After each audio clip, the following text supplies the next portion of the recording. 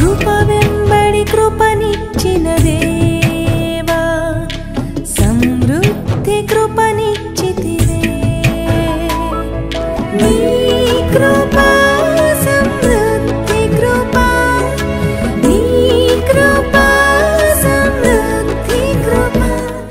దేవుని నామానికి మయం కలుగును గాక ప్రియమైన దేవుని ప్రజలారా జీవము కలిగిన యేసు క్రీస్తు నామంలో శుభములు మీకు తెలియజేస్తూ దేవుని మాటలు వినటానికి ప్రేమతో మిమ్మల్ని ఆహ్వానిస్తూ ఉన్నాం. పరిశుద్ధ బైబిల్ గ్రంథంలో అపోసిన పౌలు హెబ్రిల్కు రాసిన పత్రిక పదకొండవ అధ్యాయము మొదటి రెండు వచనాలు మొదటి మూడు వచనాలు మనం చదువుకుందాం. విశ్వాసమనున్నది నిరీక్షింపబడు వాటి యొక్క నిజస్వరూపమును అదృశ్యమైనవి ఉన్నవనుటకు రుజువునై ఉన్నది. దానిని బట్టి పెద్దలు సాక్ష్యము పొందిరి. ప్రపంచములు దేవుని వాక్యం వలన నిర్మాణమైనవనియు. అందును బట్టి దృశ్యమైనది కనబడేడు పదార్థముల చేత నిర్మింపబడలేదనియు. విశ్వాసము చేత గ్రహించుకొనుచున్నాము. ప్రేమగల మా తండ్రి మరొకసారి ఉన్న నామములు మీ చేతికి అప్పచెప్పుకొంచున్నాం దేవా చదువుబడిన మాటలను మాకు తండ్రి మరి ఈ దినం కూడా వివరించి మీ నామానికి ఆయన తెచ్చుకోండి వినుచున్న వారి హృదయములను సిద్ధపరచండి. ఆత్మీయ మేలు పొందటానికి తండ్రి మీరే కార్యం జరిగించండి. శత్రువు వేసే ప్రతి విధమైనటువంటి తంత్రముల నుంచి ఊరల నుంచి తప్పించండి. తిన్నని మా మార్గంలో నేరుగా మా ప్రభా నీ వాక్యం వైపే దృష్టి ఉంచి మేలు పొందటానికి ప్రభా ప్రియులకు సహాయం చేయమని యేసుక్రీస్తు నామంలో ప్రార్థించి స్థుతించి వేడుకొంచుతున్నాము తండ్రి. ఆమెన్. ప్రిలారా గత దినములలో మనము విశ్వాసమును గురించి మాట్లాడుతూ ఉన్నాం.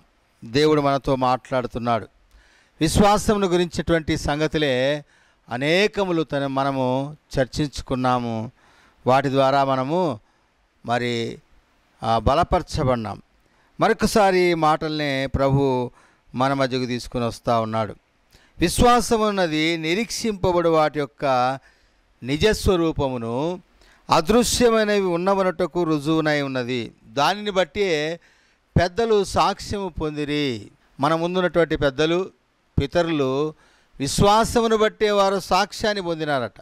విశ్వాసమును బట్టి వారు సాక్షులై ఉన్నారు. యేసుక్రీస్తు ప్రభుల వారు సర్వమానవాళి నిమిత్తమై ఈ లోకంలో మనుషుడుగా అవతరించి కన్య అయిన గర్భంలో మరి గర్భాన్ని ఉపయోగించుకుని లోకానికి వచ్చి పరిశుద్ధుడిగా జన్మించి పరిశుద్ధుడిగా జీవించి ముప్పై మూడున్నర సంవత్సరములు ఈ లోకంలో ఆయన పరలోక సంగతులను బోధిస్తూ మనందరి కొరకు ప్రశస్తమైనటువంటి పరిశుద్ధమైన రక్తాన్ని చిందించటానికి కొరకై కలువరి శిలువకెక్కి చనిపోయి పాతి పెట్టబడి తిరిగి లేచినటువంటి సమయంలో ఆయన అంటా ఉన్నాడు మీరు నాకు సాక్షులై ఉందురు అంటా ఉన్నాడు.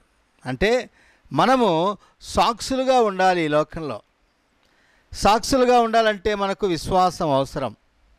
విశ్వాసమును బట్టి పెద్దలు సాక్ష్యము పొందిరి అని మనం చదువుతూ ఉన్నాం. పిల్లరా మనం విశ్వాసంలో దినదినము ఎదగవలసినటువంటి వారమే ఉన్నాం. మనం అనేకసార్లు విని ఉండవచ్చు ఒక తండ్రి కొడుకులు ఇరువురు క్రైస్తవ కుటుంబంలోనే ఉన్నవారే వారు ప్రార్థన చేస్తూ ఉన్నారట తండ్రి ప్రార్థన చేస్తూ ఉన్నాడు. ఏమని? ప్రభువా వర్షాన్ని దయచేయి అని ఆయన ప్రార్థన చేస్తూ ఉన్నాడు. ప్రార్థన చేసి బయటికి వెళ్తున్న సమయంలో మరి ఆ తండ్రి కొడుకులు ఇరువురు బయటికి వెళ్తూ ఉన్నారు. బయటికి వెళ్తున్న సమయంలో కుమారుడు పరిగెత్తుకొని తిరిగి లోపలికి పోయి ఒక గొడుగును తీసుకొని బయటకు వచ్చాడట. గొడుగు తీసుకొని బయటకు వస్తే మరి నాన్న అన్నాడంట ఎందుకు గొడుగు తీసుకొస్తున్నావు? అంటే నాన్న ఇప్పుడే కదా మనం ప్రార్థన చేసినాము. విశ్వాసంతో మనము ప్రార్థన చేసినాము. దేవుడు వర్షాన్ని ఇస్తాడు అందుకే గొడుగు తీసుకొని వస్తున్నా అన్నాడట. ఎప్పుడైతే ఈ మాట విన్నాడో తండ్రి మనసులో సిగ్గుపన్నాడు అంటే అనేక సార్లు ఈ మాట మరి మనం ఏం చేస్తామంటే ప్రార్థన చేస్తాం కానీ దాన్ని విశ్వసించాం. అడుగుతాం కానీ దాన్ని నమ్మము. నమ్మకుండా పోవటాన్ని బట్టి మన విశ్వాసం సన్నగిల్లుతుంది. బలహీనమవుతాం మనము. బలహీనమైనటువంటి విశ్వాసాన్ని మనం కలిగి ఉండాలని ప్రభు కోరడం లేదు. అందుకే శిష్యులు ఒకసారి ఇట్లా ప్రభుని అడిగినారు. ప్రభువా మా విశ్వాసమును వృద్ధి పరచుము అని వారు అడుగుతా ఉన్నారు. మా విశ్వాసాన్ని వృద్ధిపరచు అంటే ఆయన అన్నాడు ఆవగింజ అంత చాలా చిన్నదైనటువంటి విత్తనము.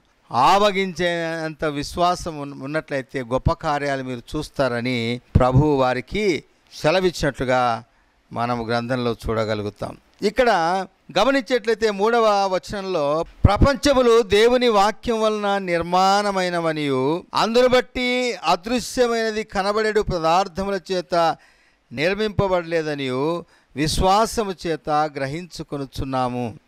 కదండి? దేవుడు కనబడేడి పదార్థముల చేత ఈ ప్రపంచాన్ని నిర్మించలేదని దేవుడు తన వాక్యం వల్లనే తన వాక్కు ద్వారానే నిర్మించినాడని విశ్వాసము ద్వారానే మనం గ్రహిస్తున్నామట. అంటే విశ్వాసం లేకపోతే దేవుని కార్యాలు మనకు అర్థం కావు. దేవుని కార్యాలు మనం అర్థం చేసుకోవాలంటే విశ్వాసం మనకు అవసరము అని ప్రభు జ్ఞాపకం చేస్తూ ఉన్నాడు.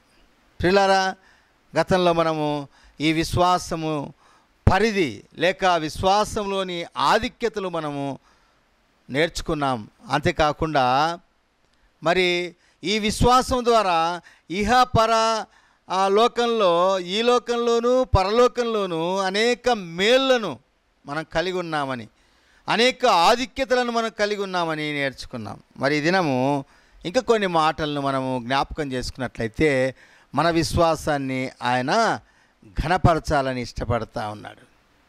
మన మన విశ్వాసము ఘనపరచబడితే ఆయన నామానికి మహిమ వస్తుంది. మనం విశ్వాసంలో ఎదుగుతున్నప్పుడు సాక్షులుగా మనం ఉంటాము అప్పుడు ఆయన నామము మహిమపరచబడుతుంది. అలాంటి స్థితిలో మనం ఉండాలని ప్రభు కోరుతా ఉన్నాడు. దేవుని గ్రంథంలో విశ్వాసుల జీవితంలో అనేక అద్భుతాలు చేయడమే కాకుండా విశ్వాసుల జీవితంలో శత్రువు జొరబడి ఆ విశ్వాసం నుంచి మానవుణ్ణి పక్కకు లాగే భయంకరమైనటువంటి ప్రమాదాలు కూడా కలిగి ఉన్నామని ప్రభు జ్ఞాపకం చేస్తూ ఉన్నాడు. మత సువార్త ఇరవై ఒకటవ అధ్యాయంలో గమనించండి మనము ఒక మాటను మనం చూస్తాం అక్కడ. మత్త వార్త ఇరవై ఒకటవ అధ్యాయము ఇలాగున ఈ మాటలు రాయబడి ఉన్నాయి. గమనించండి. పద్దెనిమిదవ వచనం నుంచి కూడా ఉన్నటువంటి మాటలు నేను చదువుతున్నాను. ఉదయమందు పట్టణమునకు మరలా వెళ్ళుచుండగా ఆయన ఆకలిగొనెను అప్పుడు త్రోవ ప్రక్కన ఉన్న ఒక అంజూరపు చెట్టును చూసి దాని వద్దకు రాగా దాని యందు ఆకులు తప్ప మరేమీ కనబడలేదు కనుక దానిని చూచి ఇక మీదట ఎన్నటికీ నీవు కాపు కాయకుందువుగాక అని చెప్పాను. తక్షణమే ఆ అంజూరపు చెట్టు ఎండిపోయాను. శిష్యులది చూచి అంజూరపు చెట్టు ఎంత త్వరగా ఎండిపోయానని చెప్పుకొనిది అందుకు యేసు మీరు విశ్వాసము కలిగి సందేహింపకుండిన ఎడల ఈ అంజూరపు చెట్టునకు జరిగిన దానిని చేయుట మాత్రమే కాదు ఈ కొండను చూచి నీ ఎత్తబడి సముద్రంలో పడవేయబడదుగా కానీ చెప్పినలా అలాగు జరుగునని మీతో నిశ్చయముగా చెప్పుచున్నాను. ప్రియులారా గమనించండి విశ్వాసంలో బలహీనలు కావటానికి కారణం ఏంటంటే సందేహం. సందేహము బలమైన విశ్వాసాన్ని బలహీన బలహీనముగా చేస్తుంది. మనలో ఉన్నటువంటి బలమైన విశ్వాసాన్ని ఆ సందేహము ఏం చేస్తుందంటే అవునో కాదో అవుతుందో కాదో అన్నట్టుగా చేస్తుంది. ఇక్కడ ప్రభు ఆ అంజూరపు చెట్టును గద్దిచ్చినాడట శపించినాడు కారణం ఏంటంటే ఆకులు తప్ప మరేమీ అందులో కొన్నిసార్లు మరి క్రైస్తవ జీవితం ఎట్లా ఉంటుందంటే నిండుగా పచ్చగా ఉన్నట్టుగా ఉంటుంది. ఎంత భక్తిపరుడో ఎంత భక్తి గల కుటుంబమో అన్నట్టుగా ఉంటుంది. వాస్తవమే వారు భక్తి కలిగి సాగుతూ ఉన్నారు కానీ నిజముగా ఆ భక్తిలోని శక్తిని ఎరగకుండిన ఎడల ఫలములు లేని అంజూరపు చెట్టు వలె ఉంటాము అని జ్ఞాపకం చేస్తాను. అందుకే తిమోతికి రాస్తూ అపోస్తున్న పౌలు ఏమంటాడంటే భక్తి యొక్క శక్తిని మనము అనుభవించాలి అని ఆయన జ్ఞాపకం చేస్తూ ఉన్నాడు. గమనించండి తిమోతికి రాసినటువంటి రెండవ పత్రిక మూడవ అధ్యాయం ఐదవ వచనంలో ఇట్లా రాయబడింది పైకి భక్తి గల భక్తి గలవారి వలె ఉండి దాని శక్తిని ఆశ్రయించని వారునై ఉందరు. కొంతమంది ఇట్లా ఉన్నారట ఆ అంజూరపు చెట్టు వలె ఉన్నారట. అంజూరపు చెట్టు నిండు ఆకులు కలిగి ఉంది కానీ ఫలములు లేవు. భక్తి కలిగిన కుటుంబం వలె ఉన్నారు కానీ పైకి భక్తి గల వారి వలె ఉన్నారు కానీ దాని శక్తిని ఆశ్రయించని వారుగా ఉన్నారు అంటా ఉన్నాడు. అట్టి వారికి నీవు విముఖుడవై ఉండము తిమోతి అంటా ఉన్నాడు. అట్టి వారికి నీవు ఎడంగా ఉండంటా ఉన్నాడు. మన జీవితంలో కూడా ఒకవేళ మనం భక్తి కలిగి ఫలాలు లేకపోతే మనల్ని కూడా ప్రభు అట్లే చూస్తాడు.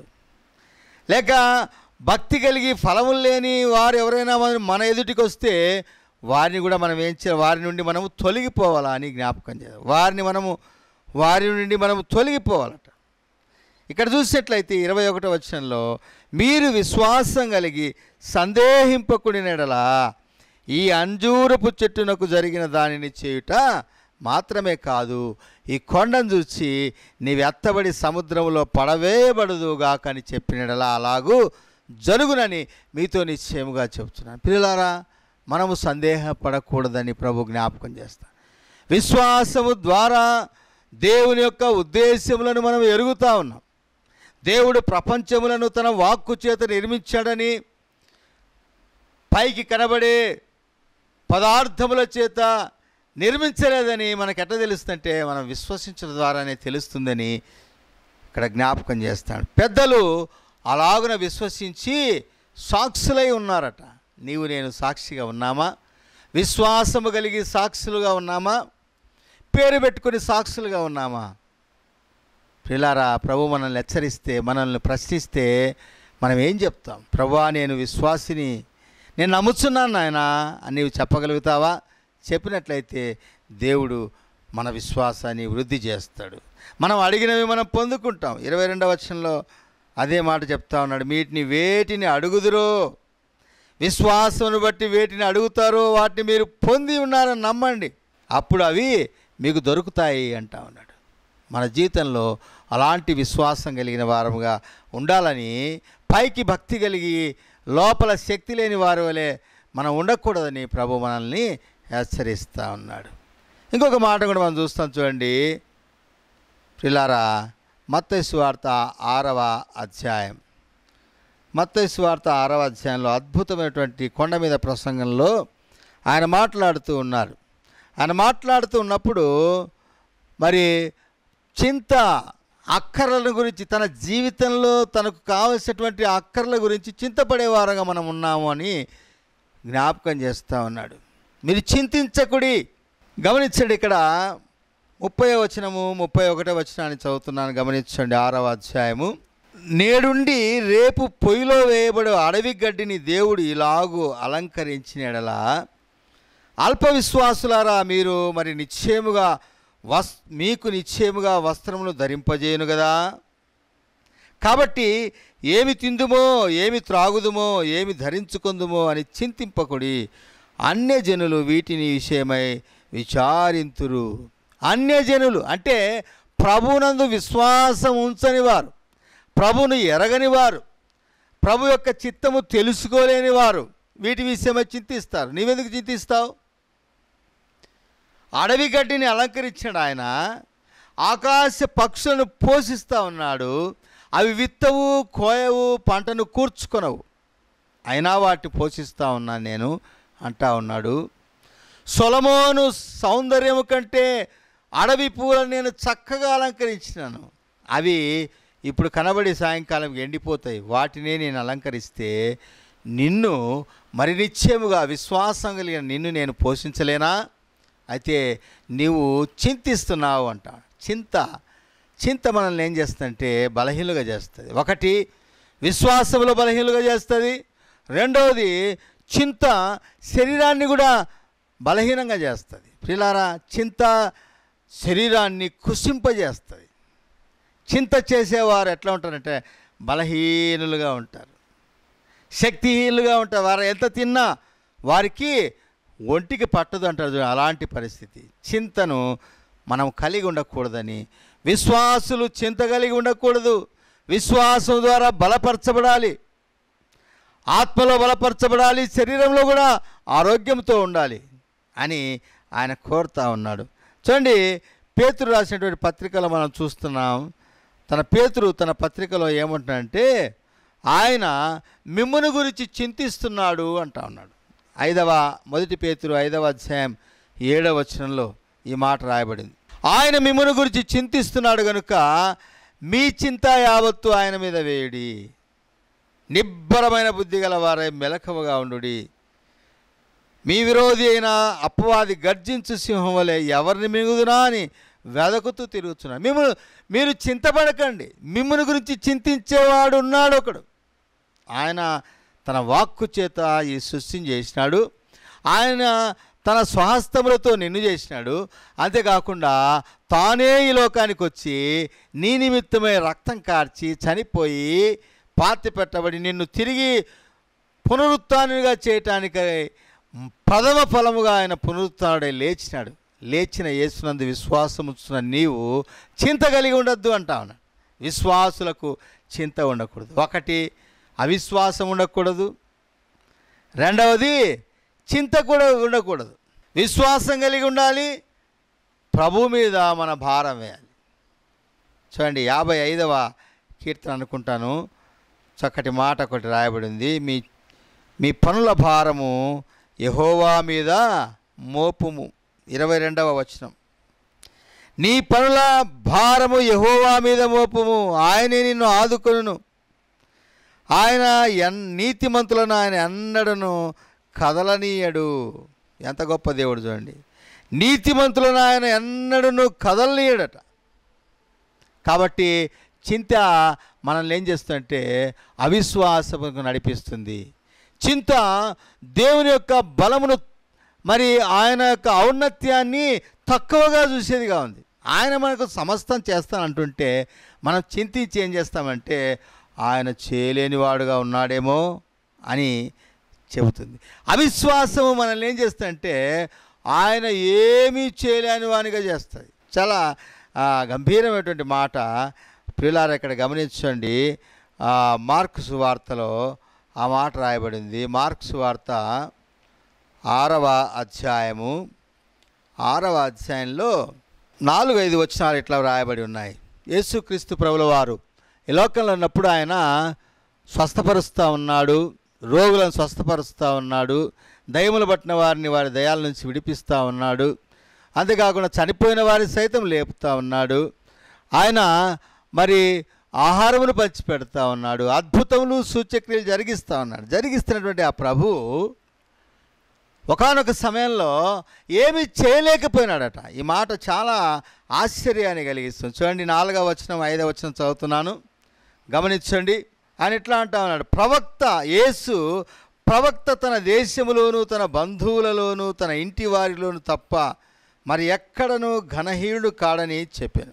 అందువలన అందువలన కొద్దిమంది రోగుల మీద చేతులుంచి వారిని స్వస్థపరచుట తప్ప మరి ఏ అద్భుతములను ఆయన అక్కడ చేయజాలకపోయాను? ఎందును బట్టి చేయలేకపోయాడట తన సొంత బంధువులను బట్టే చేయలేకపోయినాడు. తన సొంత వారిని బట్టి తన సొంత ఊరి వారిని బట్టి.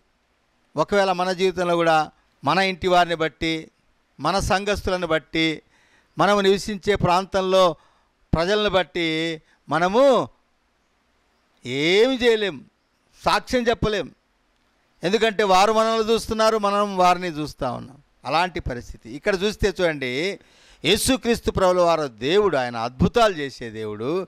ఆయన ఏమి చేయలేకపోయినాడట. ఆయన వారి అవిశ్వాసమునకు ఆశ్చర్యపడాను. మనుషులు అవిశ్వాసములో ఉన్నందువలన ఆయన ఏమీ చేయలేకపోయాను అంటాను ప్రిడాప్రియ సోదరి మనము ఎట్లా ఉండాలట అంటే విశ్వాస వీరుల వలె ఉండాలి. విశ్వాసములో మనము తగ్గిపోకూడదు. చింత మన జీవితంలోనికి రాకూడదు. చింత మన జీవితంలోనికి వచ్చినట్లయితే మనము బలహీనమైపోతాం అటు బలహీనత మనల్ని ఏం చేస్తుందంటే దేవుని శక్తిని కూడా శంకించేదిగా చేస్తుంది. దేవుని శక్తి దేవుని కార్యములు మన మధ్యలో జరగకుండా మనము అడ్డుపడే వారంగా ఉంటాం. ఎంత విచారకరమైన విషయం చూడండి. మనము చింతించడం ద్వారా దేవుని కార్యములు ఈ లోకంలో జరగకుండా చేస్తున్నామట. అలాంటి దుస్థితిలో నీవు నేను ఉండకూడదని ప్రభు కోరుతా ఉన్నాడు. మనము చింతించే వారంగా కాకుండా బలమైన విశ్వాసములుగా విశ్వాసంతో ఆ పిల్లవాడు తండ్రి ప్రార్థన చేసినాడు వర్షం వస్తుందని. ఆ పిల్లవాడు విశ్వాసంతో గొడుగు తీసుకొని వస్తున్నాడు. తండ్రి అన్నాడు ఎందుకు గొడుగు తీసుకొస్తున్నావు? అయ్యా మనం ఇప్పుడే కదా ప్రార్థన చేసినాం వర్షం వస్తుంది కాబట్టి నేను గొడుగు తీసుకుని వస్తా అంటున్నాడు. ప్రిడా ప్రియ సోదరి ఇట్టి విశ్వాసం నీకుందా? నీవు ప్రార్థించేవి పొందుతున్నావని నీవు గమనిస్తున్నావా? గమనించినట్లయితే ఓ నీ విశ్వాసము ఘనపరచబడుతుంది. ఓ నీ విశ్వాసము వృద్ధి చేయబడుతుంది. అనేకులకు నీవు మేలుకరంగా ఉంటావు. దేవుని చిత్తమును నీ ద్వారా ఈ లోకంలో జరిగించటానికి అవకాశము దేవునికి ఇస్తా ఉన్నాడు. అట్టి అవకాశాన్ని మనం ఏం చేయాలంటే చింతను తీసి పక్కన వేయటం ద్వారా చింతను ఆయన మీద వేయటం ద్వారా మనము దేవుని కార్యాలు మన జీవితం ద్వారా చూడగలుగుతామని ప్రభు జ్ఞాపకం చేస్తారు తిమోతికి రాసిన పత్రిక మొదటి తిమోతి ఆరవ అధ్యాయం. ఆరవ అధ్యాయంలో గమనించండి. ఇరవై ఇరవై ఒకటి వచనాల్లో చివరి మాటలు. ఓ తిమోతి నీకు అప్పగింపబడిన దానిని కాపాడి అపవిత్రమైన వట్టి మాటలకును జ్ఞానమని అబద్ధముగా చెప్పబడిన విపరీత వాదములకును దూరముగా ఉండుము. ఆ విషయములో ప్రవీణులమని కొందరు అనుకొని విశ్వాస విషయము తప్పిపోయి కృప మీకు తోడై ఉండునుగాక గమనించండి ఇక్కడ మనం విశ్వాస విషయంలో తప్పిపోవటానికి ఇంకా కొన్ని కారణాలు ఏంటంటే ఒకటి అవిశ్వాసము రెండవది మరి ఆ చింత మూడవది ఏంటట అంటే అపవిత్రమైన ఒట్టి మాటలు మాట్లాడు వారితో మనము జోడు కలిగి ఉండకూడదు. అందుకనే కీర్తనకాడు ఏమన్నాడంటే అద్భుతమైనటువంటి కీర్తన మొట్టమొదటి కీర్తనలో రాయబడిందంటే ఆ మాటలు మనము ఎంతో ఎప్పుడు మనము జ్ఞాపకం చేసుకోవాల్సినటువంటి వారమై ఉన్నాం. దుష్టుల ఆలోచన చొప్పున నడవకుండా పాపుల మార్గంలో నిలవకుండా అపహాసకులు కూర్చుండు చోట కూర్చుండకుండా యహోవా ధర్మశాస్త్రమునందు ఆనందించుచు దివారాత్రము దానిని ధ్యానించువాడు దాని దుష్టుల ఆలోచనలు మన విశ్వాసాన్ని నాశనం చేస్తాయి ప్రియులారా. దుష్టుల ఆలోచన అంటే మనం దుష్టులతో సాహసం చేస్తామా?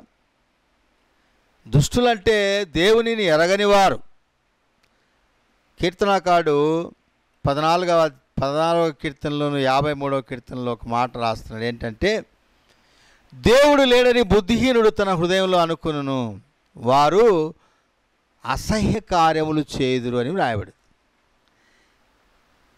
వారు అసహ్యంగా ఉంటారా? మనకన్నా అందంగా ఉండొచ్చు. మనకన్నా దండిగా సంపాదిస్తూ ఉండొచ్చు. మనకన్నా సమాజంలో మంచి పేరు ప్రఖ్యాతులు కలిగి ఉండవచ్చు. అయితే దేవుడు లేడు అంటా ఉన్నాడు. దేవుని ఎందు దేవుని ఎందు విశ్వాసం ఉంచడం లేదు.